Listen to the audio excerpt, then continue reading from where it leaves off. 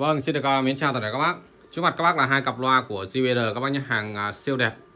À, với hai cặp loa này thì uh, em xin phép được uh, test cho anh Đỗ Văn Kiệt các bác nhé, ở phường 6, quận Tân Bình, Hồ Chí Minh. Rất là cảm ơn anh rất là nhiều đã ủng hộ uh, đến uh, cửa hàng Michael Audio rất là nhiều các dòng sản phẩm. À, với đôi loa này thì uh, anh uh, về lắp phòng uh, cà phê các bác nhé. Trước đây thì anh có mua những cái dòng uh, đẩy electro voice vang của bên em và tiếp tục được uh, à, ủng hộ thêm đến bên em là đội loại JBL model là KP2010 các bác nhé. Bài xịn của JBL nhé. Có rất là nhiều các video bên em có phối ghép lắp bộ cũng như là test ở trên kênh Michael Audio. Đó, trên YouTube các bác nhé. Các bác có thể tham khảo thêm. À, với chất tiếng rất là hay. Đó. nghe nhạc thì à, bát sâu chắc à, đầm các bác nhé.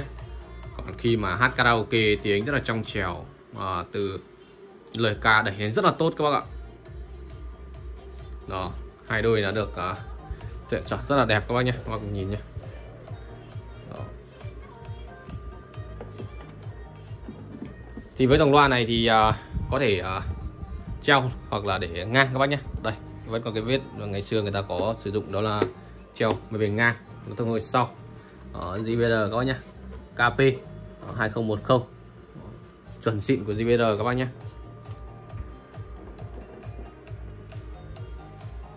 Với dòng này thì các bác chơi gia đình hoặc là chơi uh, ngoài chơi đều ok. Phòng trà à, với uh, phòng rộng 450m thoải mái các bác nhé. Một đôi này với uh, thêm những quả súp 450 nữa là ok. Vâng em cũng uh, xin cảm ơn anh Kiệt rất là nhiều. Đã tin tưởng cũng như ủng hộ đến cửa hàng rất là nhiều các dòng sản phẩm và có nhận 10 triệu tiền cọc của anh thôi. Cảm ơn anh rất là nhiều các bác nào có nhu cầu với những à, đôi loa JBL hàng xịn như vậy thì có thể liên hệ với bên em qua số hotline 0977 434 361 các bác nhé. Xin được à, chào các bác, hẹn gặp lại các bác trong các clip tiếp theo.